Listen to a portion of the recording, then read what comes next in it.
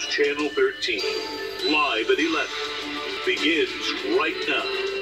The police were teaching dozens of people at Proctor's GE Theater tonight. Emily DeVito has the story live from our newsroom. Emily?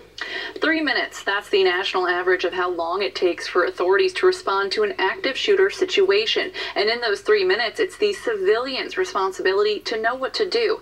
And that's why authorities say it's so important to attend these training sessions. A chilling start to a civilian active shooter training session.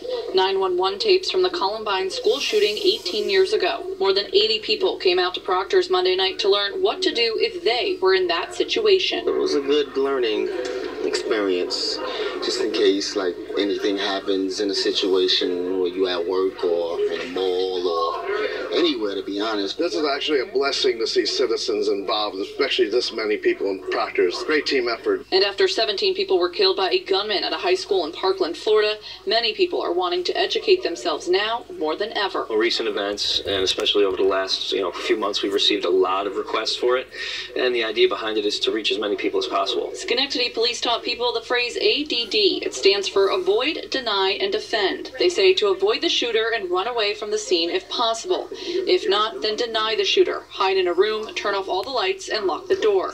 Finally, defend. If you have to fight the shooter, do it aggressively. And that was something that resonated with some people. I'm not much for hiding not doing something. But police say things won't always turn out as planned. So I think you know what hit home, might hit home for a lot of people is how your body may potentially react and not allow you to actually do some of these things. And as the number of mass shootings continues to rise, authorities say now people always need to be prepared. Obviously, be aware of their surroundings. That situational awareness to even just as simply as looking at different exits in a building that you walk into or a movie theater you walk into. Those things can go a long way. And if you missed tonight's session, there is another one this weekend. It's Sunday from 3 to 5 p.m. at Proctor's main stage. Jim and Karen. All right. Thanks very much, Emily.